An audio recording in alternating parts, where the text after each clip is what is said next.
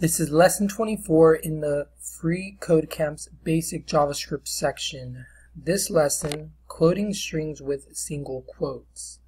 So string values in JavaScript may be written with single or double quotes, so long as you start and end with the same type of quote.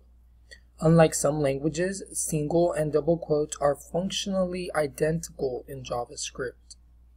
This string has double quotes in it, as you can see, here's the escape character from last lesson. So the value in using one or the other has to do with the need to escape quotes of the same type. Unless they are escaped, you cannot have more than one pair of whichever quote type begins a string. If you have a string with many double quotes, this can be difficult to read and write. Instead, use single quotes.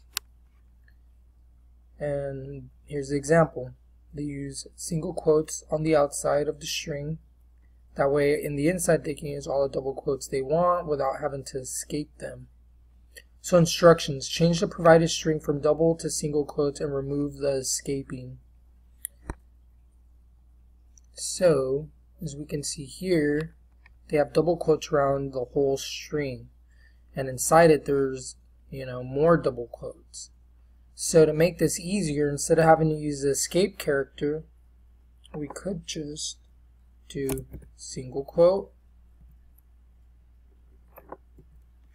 single, single quote, and then that way we can erase all these escape characters.